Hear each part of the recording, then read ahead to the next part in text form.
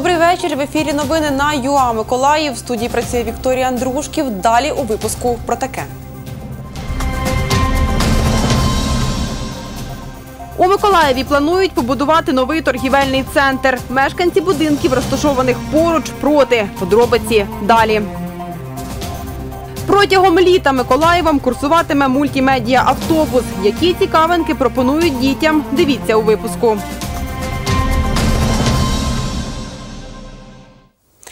У історичному центрі Миколаєва на по проспекту Центральному планується будівництво нового торгівельного центру. Підготовчі роботи вже розпочали. Представниця ініціативної групи Вікторія Крісальна говорить, мешканці будинків, розташованих поруч, проти. У ситуації розбирались кореспонденти Суспільного Ніна Булах та Валентина Гурова.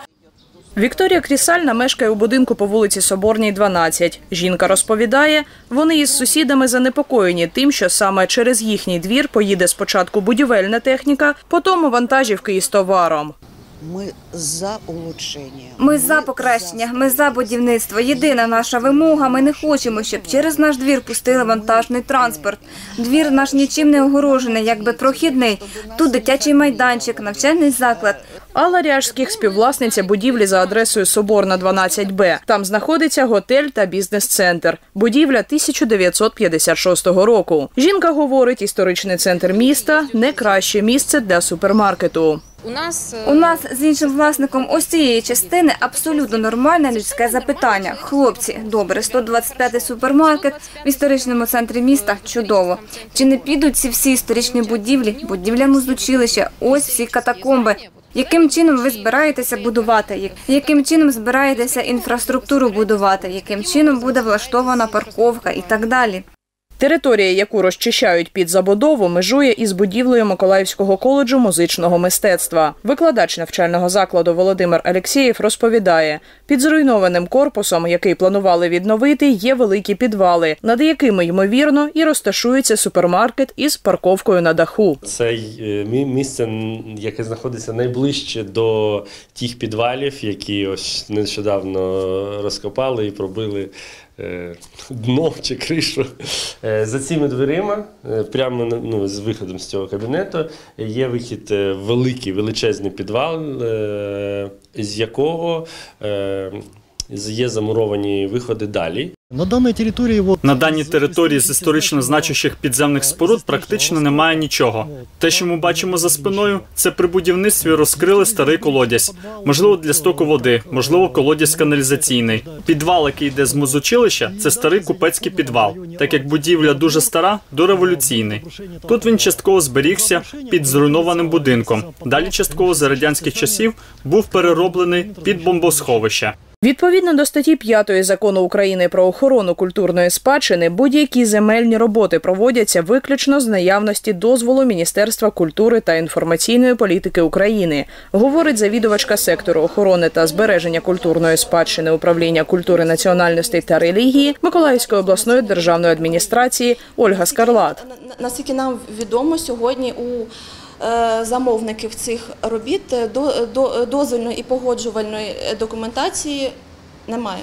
Е, Ця земельна ділянка знаходиться в оточенні декількох об'єктів культурної спадщини. Це Севастопольська 2, е, Соборна 12 і Соборна 10. Це є і пам'ятки архітектури місцевого значення, і два щойно виявлених об'єкта за видом архітектура. Про будівництво супермаркета вперше заговорили рік тому, говорить власниця бізнес-центру Україна Алла Ряжських. А у червні цього року почали зачищати територію.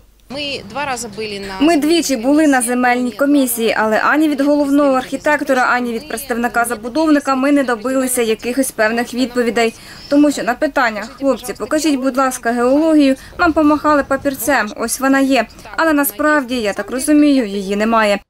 На сьогодні забудовники не звертались до департаменту архітектури та містобудування за містобудівними умовами, а протягом року змінили цільове призначення земельної ділянки.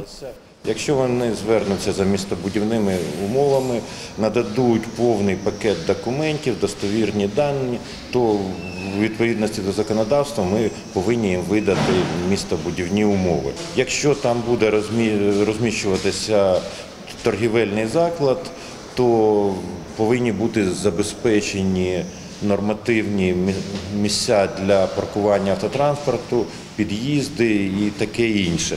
Все це ми будемо вказувати всі обмеження в містобудівних, якщо вони власники земельної ділянки звернуться до нас.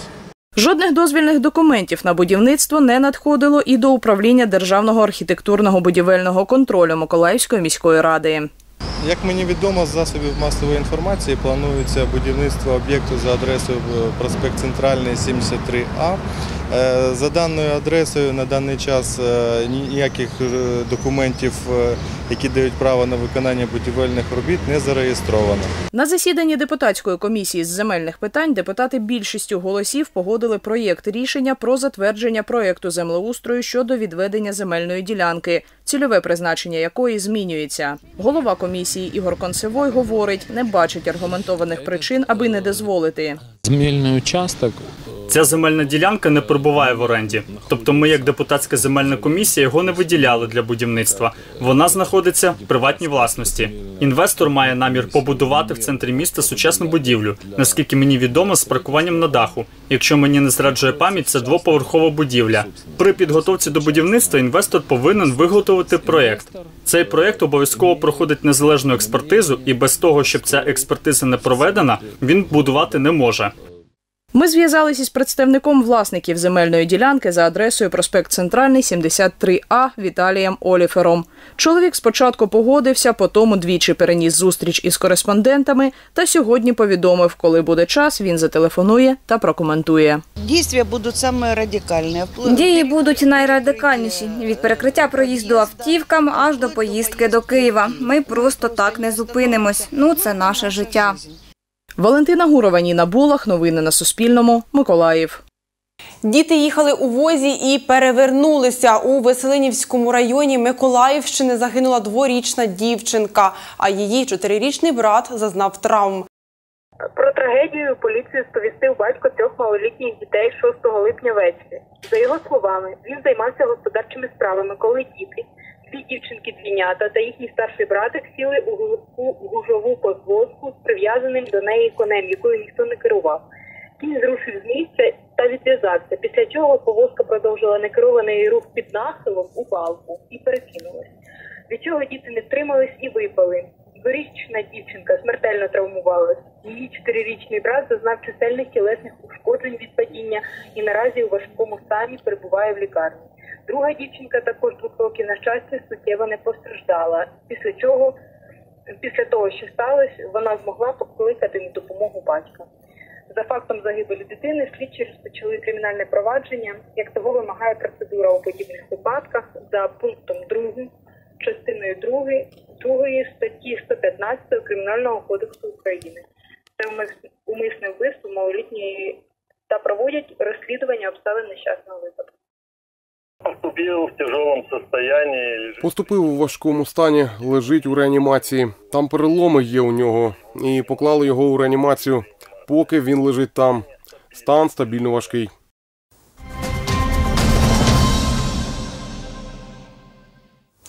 На Миколаївщині виявили два нових випадки захворювання на COVID-19. Це чоловік та жінка 34 та 36 років з Миколаєва. Обидва лікуються амбулаторно. Про це розповіла речниця Миколаївського штабу з протидії коронавірусу Валерія Котовська. За минулу добу одужали 16 пацієнтів.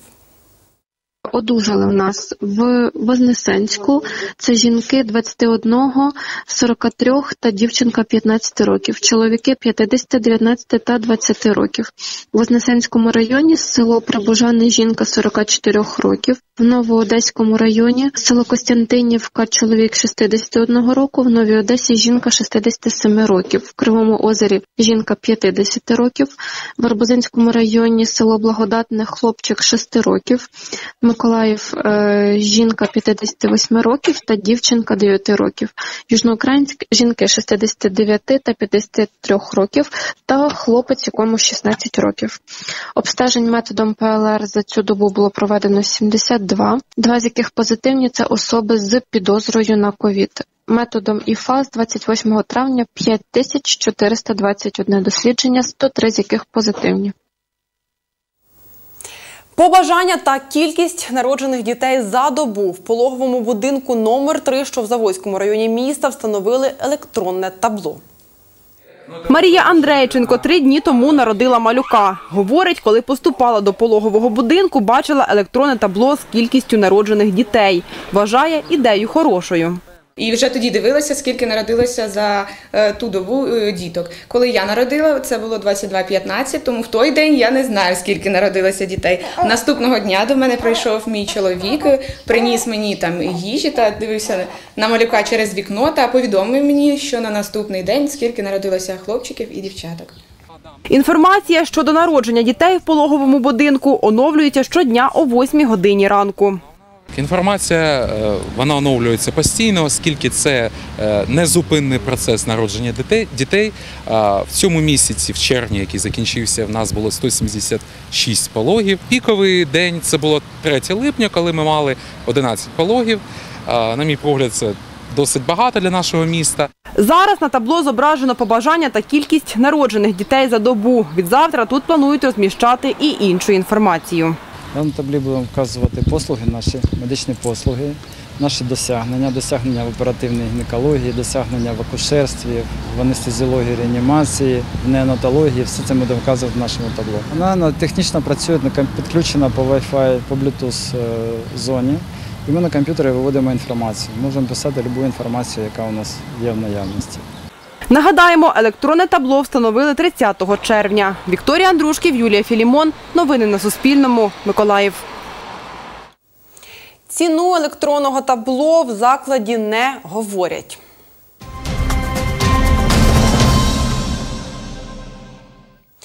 Співробітники Центральної міської бібліотеки імені Шурикобра та Віті Хоменка заохочують дітей до читання. Що вівторка та щочетверга протягом літа Миколаївщиною курсуватиме мультимедіа автобус. Які цікавинки пропонують дітям? Дивіться далі. Гаджети та лінощі не для восьмирічної Аліси. Дівчинка розповідає, веде активний спосіб життя та читає різноманітну літературу. Найбільше каже, її цікавить вивчення підводного світу. Читанням захоплюється з раннього дитинства та щомісяця береться за нову книжку. Я люблю э, про якихось звірів читать. Я люблю читати про тварин, особливо про підводних. Мені це більше цікаво, ніж читати про наземних. Я їх детально ще не вивчала, але зараз мені цікаво про восьминогів та медуз, бо літо. Я навіть бачила на власні очі помаранчево-фіолетову. Це вражає. А ще мені щомісяця приходять книжки з підписки, по дві книжки і подарунок. Та бібліотеці я була нещодавно, брала книжку про морських тварин. Біля парку Народний сад, де розташувався мультимедійний автобус, дівчинка опинилась під час прогулянки. Її увага одразу ж припала до 3D-книги Аліса в країні чудес.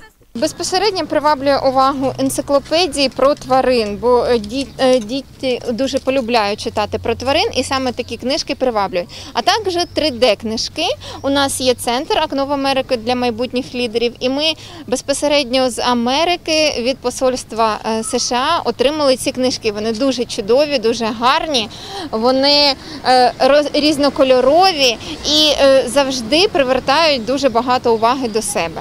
Ініціативу заохочення дітей відвідувати бібліотеку підтримує вихователька Аліси Тетяна Черниш. Говорить, читання невід'ємна складова розвитку дитини та важлива в час інформаційних технологій. Без этого дети не пойдут сами, их надо. Без цього заохочення діти самі не підуть в бібліотеку. Вперше їх потрібно туди привести, зацікавити. І дуже їм подобається читати прямо в залі, навіть якщо вони не беруть книгу. Ось ми, наприклад, не так часто беремо книжки додому. У Аліси велика кількість книжок вдома, але там їй подобається читати. Сісти в тишині в залі бібліотеки, почитати. Потім вона мені переповідає прочитане. Це дуже розвиває її мову. Це ненав'язливо і не в режимі примусового заняття. На локації співробітники в костюмах казкових героїв. Перехожим роздають візитівки запрошення, найменшим показують мультфільми. На столах розкладена дитяча література. Перед тим як ознайомити маленьких читачів з книгами, їм дезінфікують руки. У нас передбачено, як ви бачите, є антисептик, у нас є рукавички для дітей, і у нас є маски для дітей, якщо у них цього немає. Ну і у бібліотекарів також вони в масках, щоб е, соблюдати всі міри карантину. Такий автобус з'являтиметься щовівторка о 9.30 біля парку Народний сад. Щочетверга в серці міста Манганарівському сквері. Запрошуватимуть поринути дітлахів у світ книги протягом двох годин до 11.30. Катерина Максименко, Юрій Руденко. Новини на Суспільному. Миколаїв. Природа, сучасна архітектура, історичні пам'ятки Японії відображені в 25 світлинах. Фотовиставка Японія моєї мрії відкрилась у Миколаївському обласному краєзнавчому музеї. Тетяна Чумак прийшла на виставку разом зі своєю онукою Настею. Дівчинка вже рік є учасницею товариства японської культури Татікадзе. Вивчає традиції східної держави, займається айкідо. Тренировки, и потом играем после тренировок, курки делаем. А ти щось знаєш е, на японській мові, можеш сказати? А не, не знаю. Ні, родичів в Японії ми не маємо. Але вам подобається культура? Культура, так, да, подобається. Мене пригласила внучка, щоб я приїхала, бо вона буде представляти е, виставку. Так? І мені сподобався виступ наших айкідо учасників. І, звісно, ця фотовиставка, вона дуже-дуже гарна, мальовнича. Фотовиставка Японія моєї мрії містить 25 світлин. На них зображені природа, сучасна архітектура, історичні пам'ятки Японії. Робили знімки представники товариства японської культури Татікадзе, які відвідали Японію чи живуть в цій країні. Відкриття фотовиставки супроводжувалось показовими виступами зі східних єдиноборств, дитячої та дорослої групи клубу Екідо Татікадзе, декламацією віршів японською мовою. Організатори виставки усім охочим пропонували приміряти національний одяг та взуття. Виставку планували відкрити ще у березні на цвітіння сакури. Через карантин перенесли подію. Сьогодні захід співпав з японським національним святом Танабата. Свято зустрічі двох зірок, двох влюблених душ.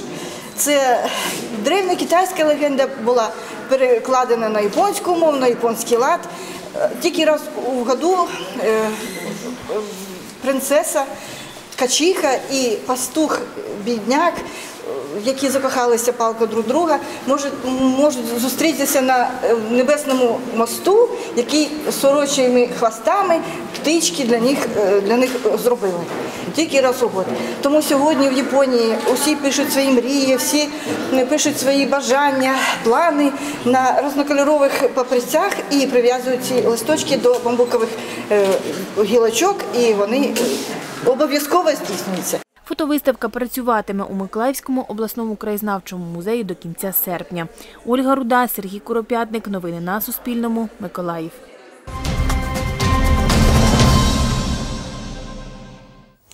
Міжнародний гросмейстер з Миколаєва Олександр Бортник увійшов до третьої сотні кращих шахістів планети. У рейтингу Міжнародної шахової федерації станом на червень 2020 року 23-річний спортсмен посідає 245 місце. Очолює таблицю, як і раніше, діючий чемпіон світу данець Магнус Карлсен. У топ-50 рейтингу шахістів України чотири миколаївця. Олександр Бортник з показником 2598 очок, 18-й. Олександр Зубов має на 9 пунктів менше і посідає 21 місце.